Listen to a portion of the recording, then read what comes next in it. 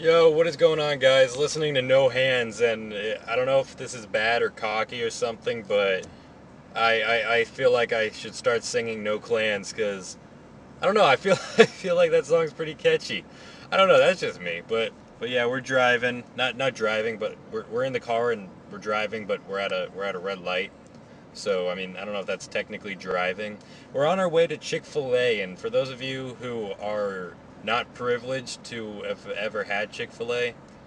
Amazing. spectacular chicken sandwiches and whatnot. So as soon as I get there, I'm going to give you a couple of nice pictures, or, um, yeah, probably a few pictures of, of the beautiful Chick fil A ness. So, yeah.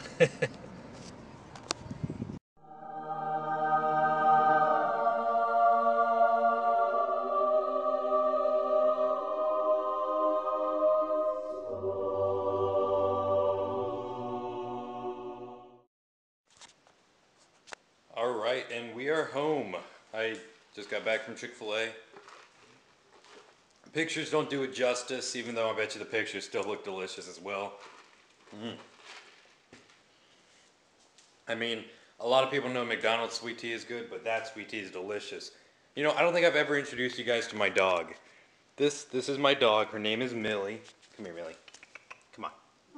Come on, come here, come here. This is my little doggy. She, her name is Millie. She's a Havanese.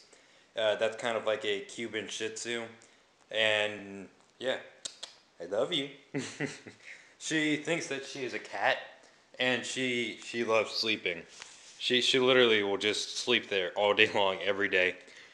And yeah, I, I I'm a cat guy. I'm not a cat guy. I'm the opposite of a cat guy. I'm a dog guy. I really like dogs. I, I don't like cats that much. I'm kind of allergic to them.